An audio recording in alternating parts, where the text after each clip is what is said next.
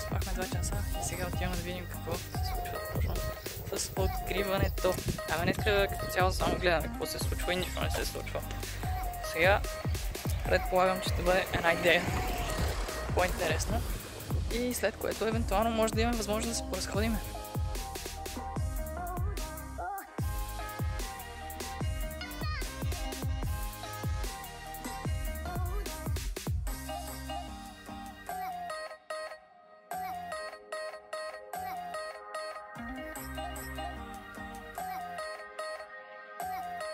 Имаме малко развитие тук. Вече имаме страници на шатрите. Няколко човека дори са се подредили. След малко и ние ще се редим. А кои всъщност сме ние? Ела! Това е дървеното столче, което правих пети клас, може би, и все още го ползваме.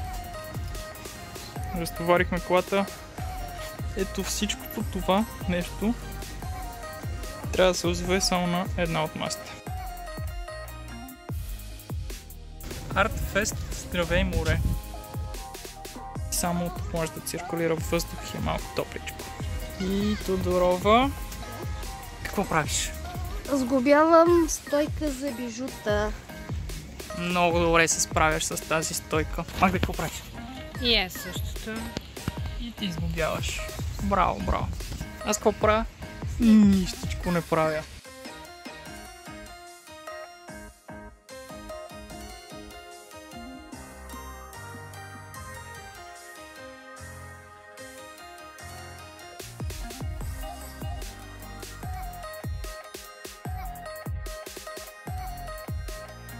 Това е нещо ново, уникално и към тях случайно направих също такова шише, бутилка, кръстени са мед и мляко.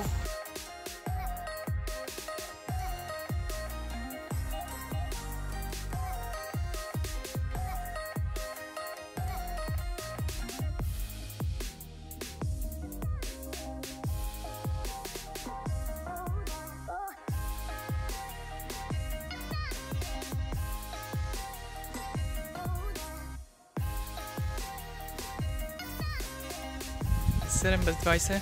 Отидахме за още една кратка дрям- дрямка. Сега сме се запътили към базара. Би трябвало всичко вече да се е организирало, да се е подредило, да е започнало, да има вече хора, които щъкат нагоре-надолу, защото доста по-приятна температурата и не е толкова силно слънцето в момента. Евентуално ще отидем да хапнем някъде. Си мислят за пържена рибка, защото сме на морето, нали? Няма как без пържена рибка и нещо пържено и мазно и вредно. Обаче днес съм решил да съм сравнително здравословен, да може би ще мина само на салатки.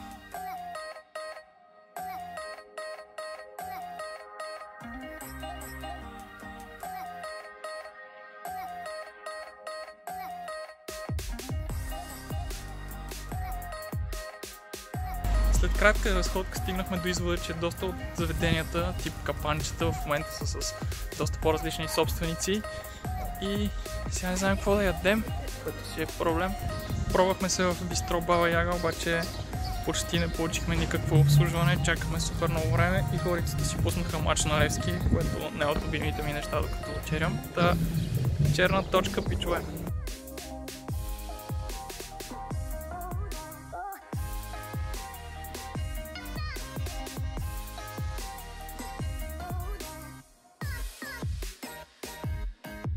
Втори опит, ресторант приятели, за момента сме доста впечатлени. Еми, трябваше да снимаме малко, ама толкова гладни бяхме, че просто изяхме половината салата и това остана.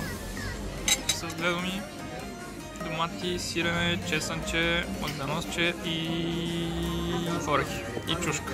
Точно пристигнаха пържени картофки с сирене и мезето на капитана. Пържени попчета. Когато има опашка в магазина. Опашка в